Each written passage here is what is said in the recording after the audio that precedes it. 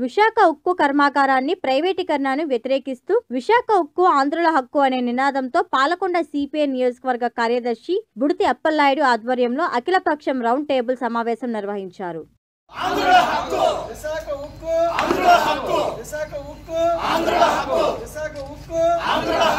ముప్పై రెండు మంది బలిదానం విశాఖ కాపాడుకుందాం కాపాడుకుందాం కాపాడుకుందాం ముప్పై రెండు మంది బలిదానం చేసుకున్న ఉక్కు కర్మాగారం కాపాడుకుందాం. కాపాడుకుందాం కాపాడుకుందాం. ఈ సందర్భంగా బుడితి అప్పలనాయుడు మాట్లాడుతూ విశాఖ ఉక్కు కర్మాగారాన్ని ప్రైవేటు పరం చేయాలని కేంద్ర ప్రభుత్వం తీసుకున్న నిర్ణయాన్ని రాష్ట్ర ప్రజలు యావత్తు అన్ని కార్మిక వర్గాలు వ్యతిరేకిస్తున్నాయని అన్నారు. పంతొమ్మిది వందల డెబ్బై ముందు విశాఖ ఉక్కును కర్మాగారాన్ని తరలించాలని చూసినప్పుడు ముప్పై రెండు మంది చేసిన ప్రాణత్యాగాన్ని ఫలితంగా ఈ ఉక్కు కర్మాగారం ఏర్పాటయ్యింది. కావాలనే లాభాలు బాటలో ఉన్న ఉక్కు కర్మాగారాన్ని ప్రైవేటు పరం చేయాలని కర్మాగారాన్ని ఇవ్వాల్సిన మూడి సరుకు అందించకుండా నష్టాలు బాటలో నెట్టాలని చేస్తుందన్నారు. సర్దార్ వల్లభాయ్ పటేల్ విగ్రహం కోసం నాలుగు వేల టన్నుల ఇనుమును తీసుకువెళ్ళినట్లు ఆయన తెలిపారు. విశాఖ ఉక్కు కర్మాగారాన్ని ప్రైవేటు పరం చేస్తే ఎటువంటి త్యాగానికైనా సిద్ధమని ఆయన తెలిపారు. ఎన్నో ఉద్యమాలు చేసి సాధించుకున్న విశాఖ ఉక్కు కర్మాగారాన్ని ఈరోజు ప్రైవేటీకరణ చేస్తామని పార్లమెంట్లో ప్రకటించడం మరి ఆంధ్రుల్ని అవమానపరచడమేను.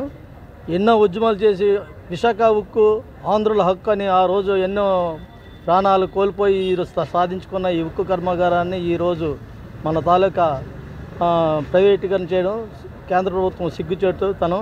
ఏమైనా ఉంటే వాటికి సరిచేయాలి తప్ప ప్రైవేటీకరణ చేయడం అనేది మరి దారుణమైన విషయం. ఈ ఇదే జరిగితే ఇదే నిజమైనగా ప్రైవేటీకరణ జరిగితే మరి కేంద్ర ప్రభుత్వం పైన ఒత్తిడి తీవ్రం చేస్తాము.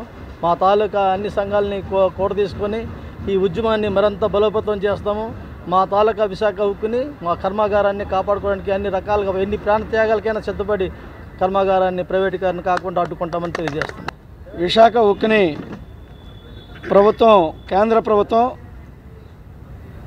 ప్రైవేటీకరణ చేయడానికి పార్లమెంట్లో నిర్ణయం తీసుకున్నట్టుగా ప్రకటన చేసింది.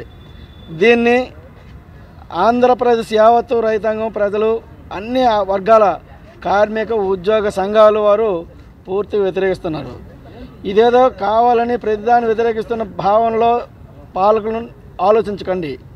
ఎందుకు అంటే పంతొమ్మిది వందల డెబ్బైకి ముందు అనేక ఉద్యమాలు చేసిన సందర్భంగా ప్రభుత్వాలు ఇక్కడికి వచ్చిన దాన్ని తరలించాలని చూసినప్పుడు విశాఖ ఉక్కుని ముప్పై రెండు మంది చేసిన ప్రాణాలు త్యాగాల ఫలితంగా బలిదానాల స- ఫలితంగా విశాఖ ఉక్కు అనేది రావడం జరిగింది. ఈ విశాఖ ఉక్కుకి ఈరోజు లాభాలతో నడిచిన దాన్ని కావాలనే గ్రా కాలక్రమంలో దీన్ని ప్రైవేట్ పరం చేయడానికి దీనికి ఇవ్వాల్సినటువంటి ప్రధానమైనటువంటి మూడు సరుకైనటువంటి మరి గనుల్ని ప్రభుత్వం కేటాయించకుండా చేయటం ద్వారా దీన్ని ప్రే నష్టాలు ఊపులోకి నెట్టాలని చూస్తుంది.